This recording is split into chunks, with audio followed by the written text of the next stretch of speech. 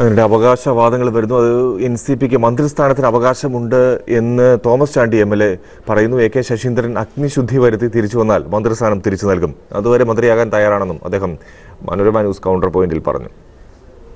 അത് ഞങ്ങളുടെ ഒരു റൈറ്റ് ആണല്ലോ. ഒരു എം എൽ എ ഉള്ള കടന്നപ്പള്ളി മന്ത്രിയാണ്. രണ്ട് എം എൽ എമാരുണ്ട് അതിലൊരാൾ രാജിവെച്ചു.